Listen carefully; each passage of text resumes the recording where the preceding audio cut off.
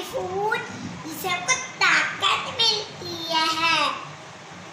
तरबूज, सिरमा, मिर्च, खीरा, और आम। टमाटर, मौसमी फल केता